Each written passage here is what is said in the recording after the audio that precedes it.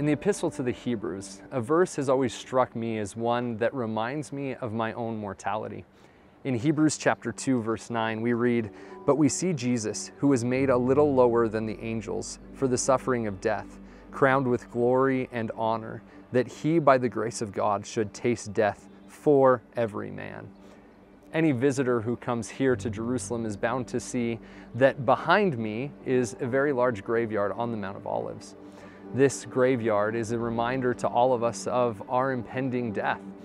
For me, as I read from the Epistle to the Hebrews, and as I ponder my own date with death, I find comfort that my Savior Jesus Christ came to this city to die so that I might live.